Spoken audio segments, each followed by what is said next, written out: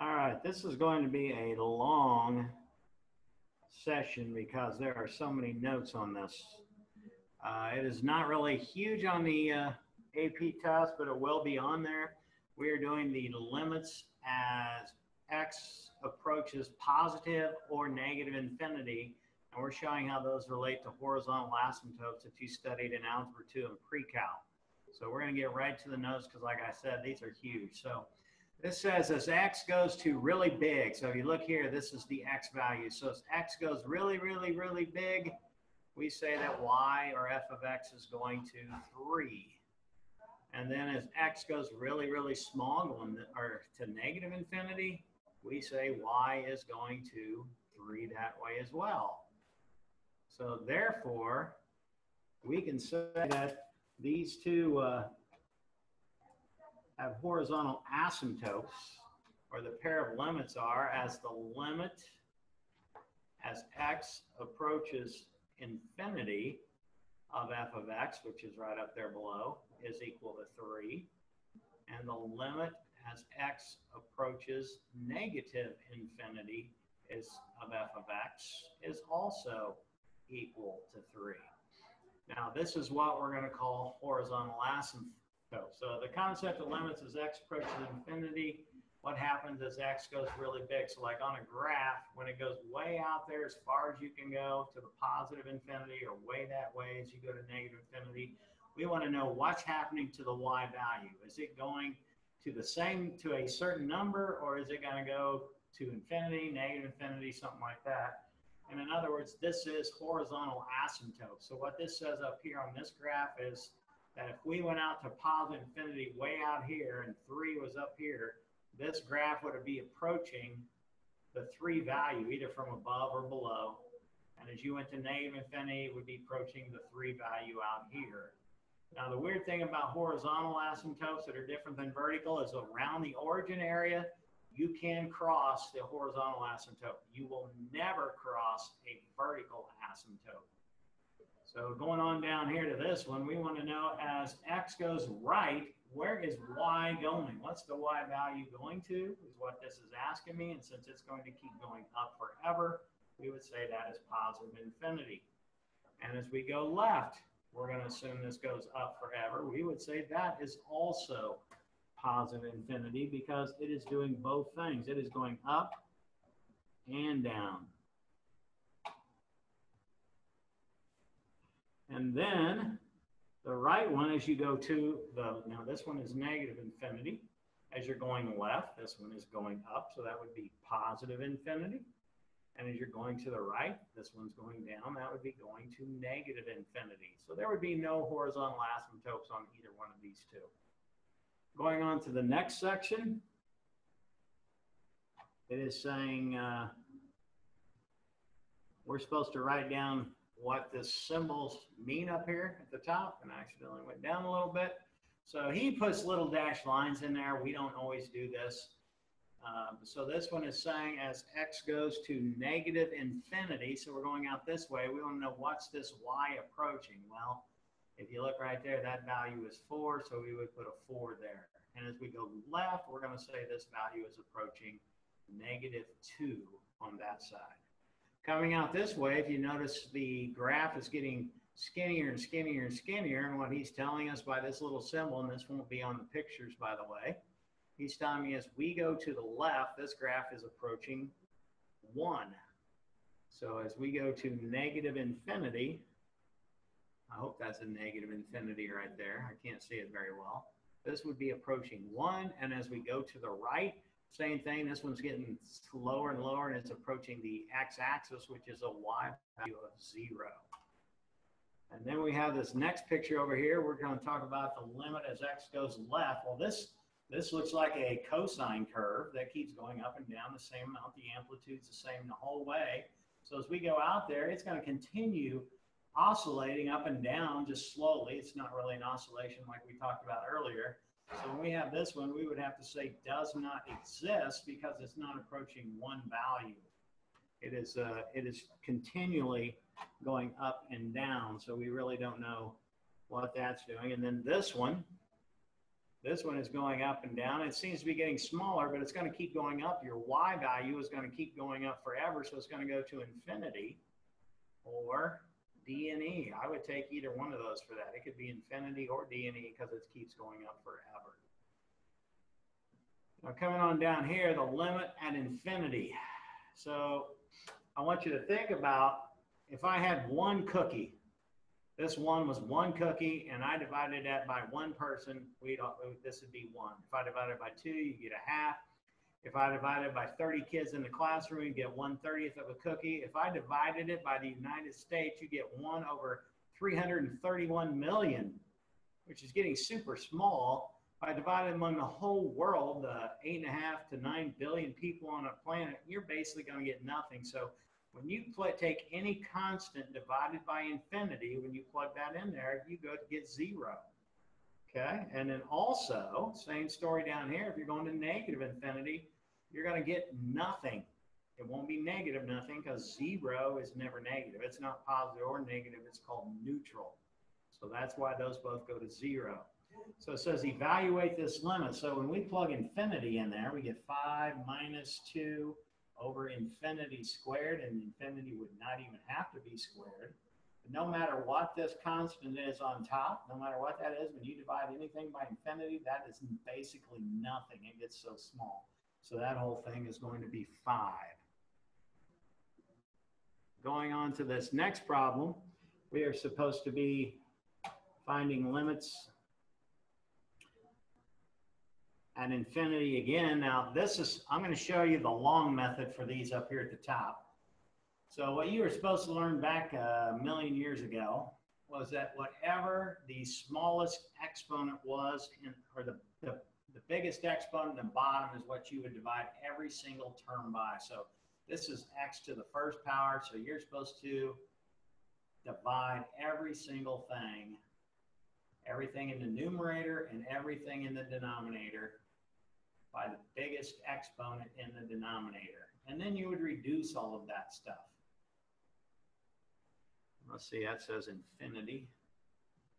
And then you reduce these x's and these x's reduce, so you end up with a limit as x goes to infinity, and this becomes 2 minus 1 over x, and then this becomes 1 plus 1 over x, and then you stick that infinity in there. So you get 2 minus 1 over infinity. And we just talked about that on the previous page. And 1 plus 1 over infinity. And we said if you take any constant and divide by infinity, it is 0. So this ends up being 2 over 1, which is 2. And then coming over here to this one, we would divide everything by the x squared. So when we do this, you would get 2x over x squared, and I should have had a limit here, the limit as x goes to, and I think that's infinity again. And then we have 5 over x squared, and then we have 3x squared over x squared plus 1 over x squared. So we reduce this 1x with one of these. So there's just 2 over x left. Both of these reduce, so I got a 3 on the bottom, and then I'm going to plug infinities in. Well, 2 over infinity is 0, plus 5 over infinity squared is 0. And then we got 3 plus 1 over infinity squared is 0. So this is 0 over 3, which is 0. Coming to this next one, same thing. We take and divide by the variable with the biggest exponent. So we're going to do the limit as x approaches infinity. And we're going to divide everything by x squared because that's the biggest exponent in the bottom.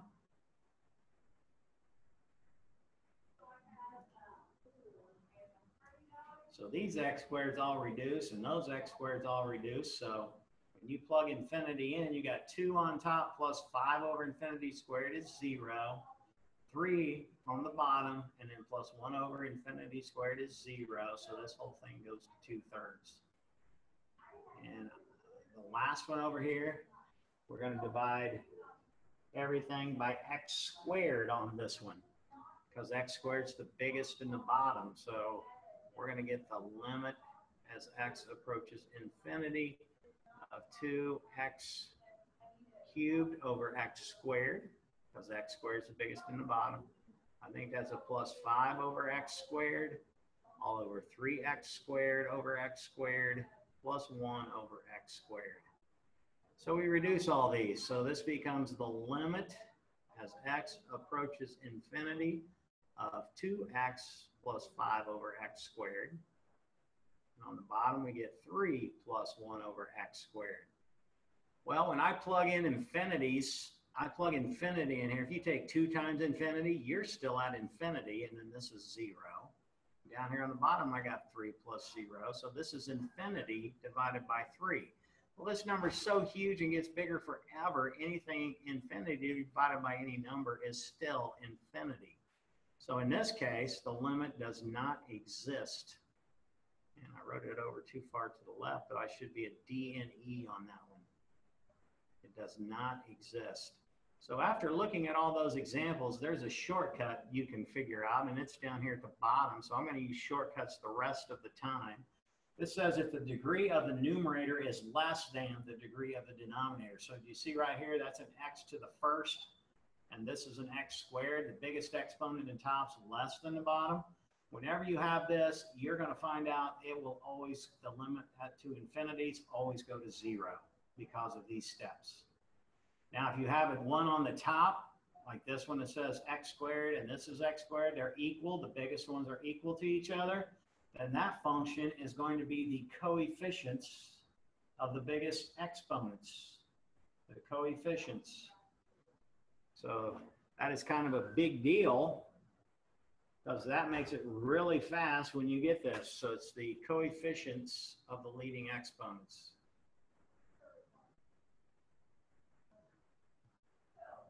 So if you look at it, coefficients of leading terms. So you see these are the biggest ones. So if I would just know that I, since the biggest ones are equal, it will always go to that coefficients of whatever's in front of those two that are equal. And then the last one, if the biggest number is on top, the numerator is greater than the denominator, these are always going to be does not exist. It will always be does not exist. Okay, we're going to go on to the next page. Now, when you have square roots, these are kind of weirdos because you have to plug in individual ones each time. So what you need to realize is the biggest exponent in the top is x, right? So the biggest exponent in the top numerator over here is an x. And then if you do the square root of 2x squared, isn't the square root of x squared also x? So these two values are identical. They're the same. Now the thing you got to be careful of is, is what term you're going to, if you're going to positive or negative. I hope you see these two are the same. Okay? So what you want to do is you're dividing everything by x. I'm going to do this the long way, and I'm going to try to tell you the shortcut that you could have done.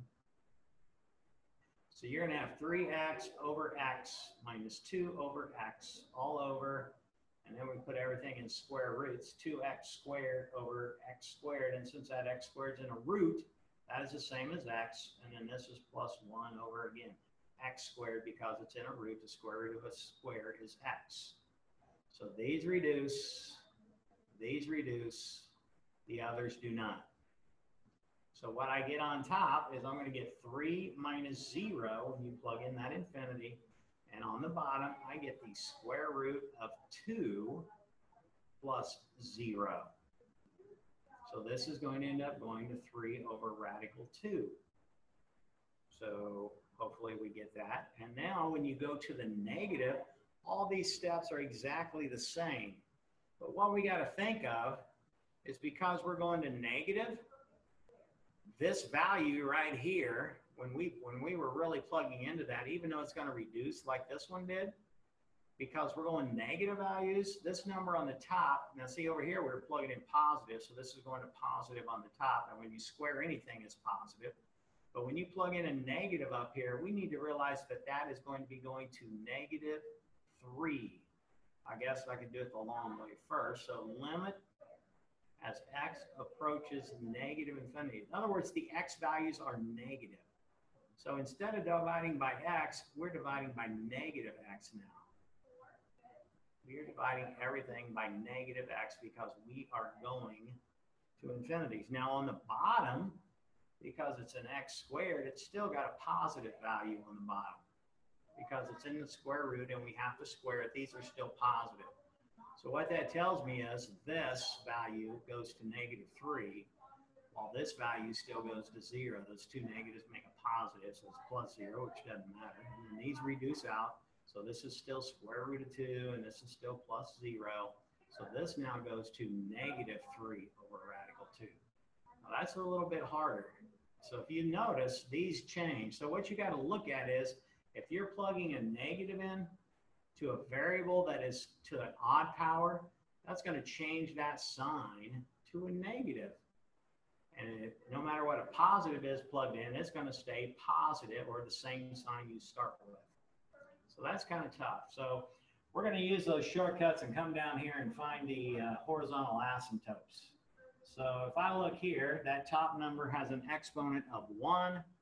I think that bottom one, I got to look at it again. I think that bottom one has an exponent of, yes, it's 2.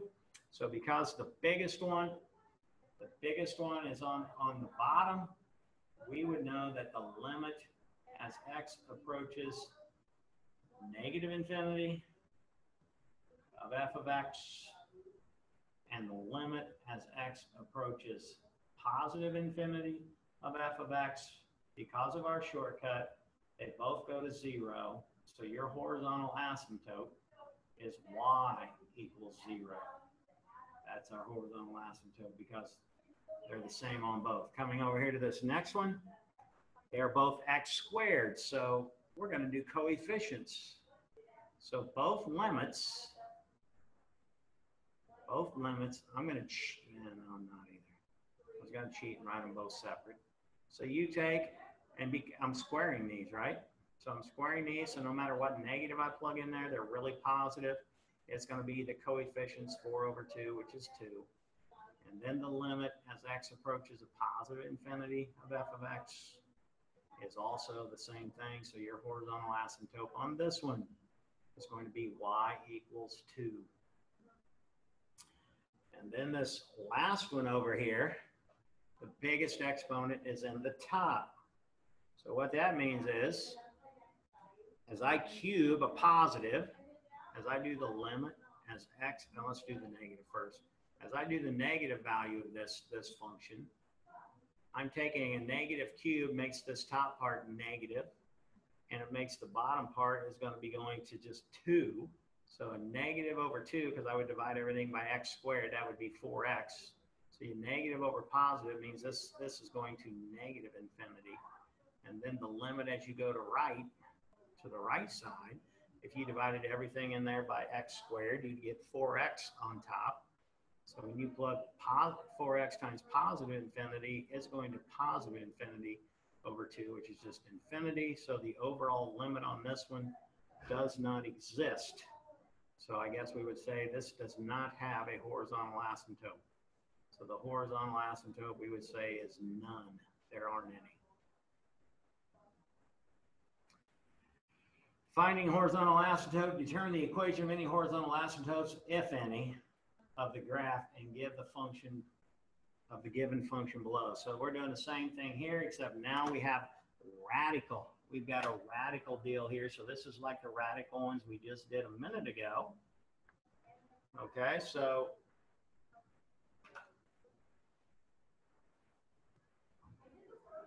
sorry. So just like the radicals we did a minute ago, do you see that this is going to be 8x and then this is really, these are going to go to zero because you're dividing everything by x, right? So I don't, I don't even worry about these. But when I'm doing these two, this is 8x. So as I go, as the limit of x goes to negative infinity, see, this is going to go to a negative value up here, and this is going to be a positive. So when you do the limit to a negative infinity, it is going to end up being a negative 8 over a radical 2 because I'm squaring a negative there makes it positive and that's negative. And they're equal power. And then as I go to the right side, as x approaches positive infinity. Now that's going to be a positive over a positive. So the limit as you go to the right side is going to be positive 8 over radical 2. So this has two horizontal asymptotes. This has an, one horizontal asymptote as you go to the left is going to be y equals negative 8 over radical 2. And as you go to the positive side, it's going to be y equals 8 over radical 2. Okay, and now we got number 12 is not on there. Did it come up on the next page? There it is. All right, example 12 is right there. And we are going to be doing this one, which is kind of hard, kind of not. So the limit as x approaches negative infinity of this function. Well, you should know because we graph sine forever that the top is going between negative 1 to 1 the whole way. Remember, it goes up and down from negative 1 to 1 the whole way. On the bottom, you're going to get infinity. So no matter what, there shouldn't be an equal sign. Yeah, there is. And so no matter what this goes to, any number divided by infinity is 0. And then if I go to the left, it is the same story going to the left. Again, oh, sorry, that's the right. As we go to the right, as x goes to positive infinity of f of x, it's the same story.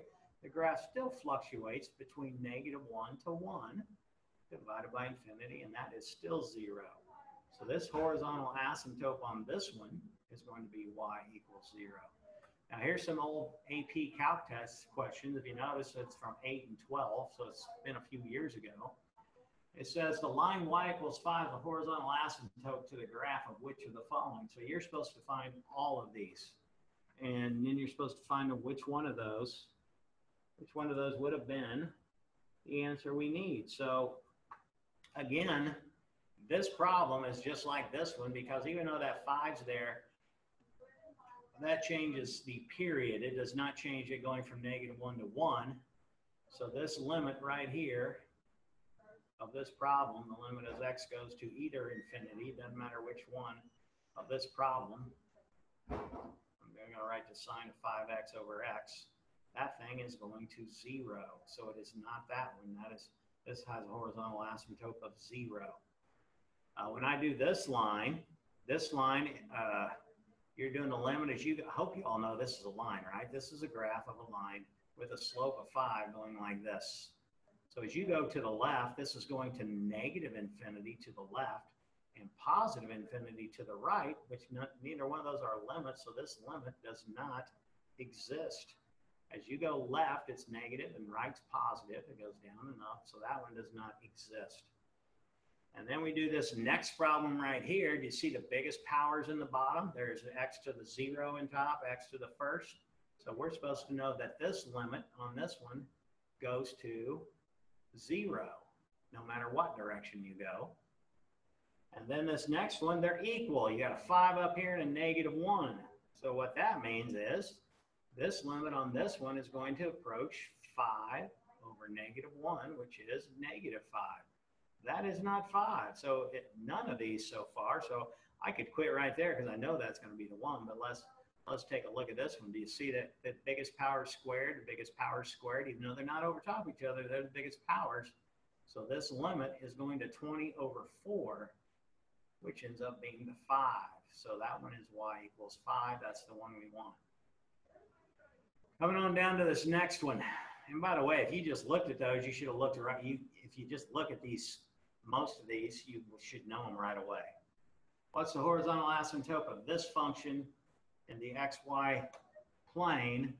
And we are supposed to be telling what this one's going to be again based on that. I want to see if you guys can figure this one out.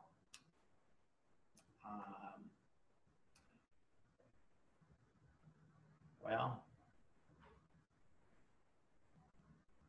Yeah, let's see if you guys can do this. I'm going to have, I want you to look at these two problems and see which one of these you think works. And then remind me in class, and we will do this 2008 multiple choice question. Uh, here's a similar AP style to the 2008 number 19, and I'm not going to do this one yet because I want to see you guys give a shot and see what happens. So we'll do these two in class if you cannot get them, uh, if you can't get them later when we're uh, doing this stuff. I'm going to do one last little thing here, slant asymptotes. Slant asymptotes happen whenever the biggest exponent in the top is one greater, see that's a square, it's one greater than the one in the bottom. And what we do to find that is called uh, long division.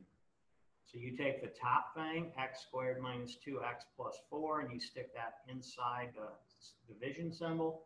What's on the bottom, you stick out in front, and then you're going to ask yourself, what times x gives you x squared? So that's x, and you take x times x is x squared. And then you take x times negative 2 is negative 2x. And then you, if you remember, you subtract. So that means this sign has to be negative, and this sign goes to positive. And when you subtract those, there's 0, and you bring the 4 down. Well, that's your remainder. So this is 4 over x minus 2. So now we are thinking about the limit here the limit as x approaches negative infinity for this one. And we are thinking about the limit as x, and so this part goes to zero, right?